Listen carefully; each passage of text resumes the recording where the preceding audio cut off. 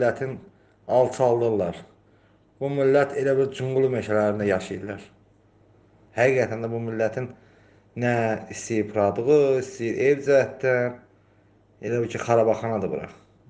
Kanalımıza müraciət edən Sumqayıt şəhəri Zeynalabdin Tağıyev qəsəbəsinin sakinləri bildirir ki, 30 ildir bu ərazidə çətin vəziyyətdə yaşayırlar. Qeyd edirlər ki, 1 il 6 ay bundan öncə məcburi köçkünlər burada məskunlaşdıqdan sonra vəziyyət daha da çətinləşib. Sakinlər əlavə edir ki, onları yaşadıkları ərazidən çıxarmaq üçün məhkəmə qərarı çıxarılıb. Aprelin 15-nə qədər vaxt verilsə də, pandemiya ilə əlaqədar bu vaxt mayın 10-na qədər uzadılıb. Lakin sakinlərin hara köçürüləcəkləri barədə məlumatları yoxdur. Bildirirlər ki, kirayə yaşamaq üçün də maddi imkanları çatmır.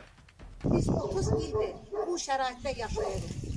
Bir yarım bundan qabaq qaçqınlar köçəndən sonra maraqlar tanınmaz hala düşdü.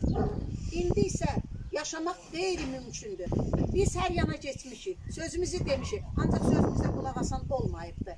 Aprelin 15-nə qədər bizə vaxt vermişdilər. Aprelin 15-dən sonra bizi çıxartmalıydılar buradan. Ancaq indi koronavirusuna görə saxlayıblar. Mayın 10-da xəbərdarlıq olunub ki, buradan çıxartılır. Bizi məhkəməyə verib qərar çıxardıblar ki, buradan çıxarılsınlar.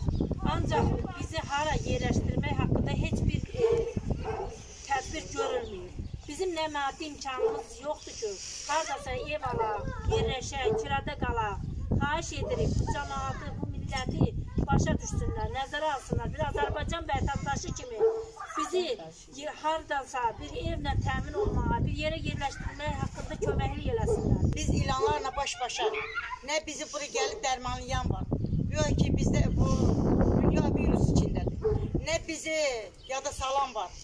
Hara gediriksə bizi içəri bizim dərdimizdən xəbər alan yoxdur. Vətəndaşlar kanalımız vasitəsilə ölkə başçısı İlham Əliyev və birinci vitse-prezident Mehriban Əliyevaya səslənir. Onlar bu məsələnin həll olunmasını və onlara yaşamaq üçün ev verilməsini xahiş edir. Edirik. Hörmətli prezidentim, bizi acınacaqlı vəziyyətdən qutar. Siz qutarasınız. Bilirik ki, sizin bizim bu yaşayışımızdan xəbəriniz olsa, bizə köməklik göstərərsiniz. Yaşayırıq 26 ildən çoxdur, 30 ilə yaxındır.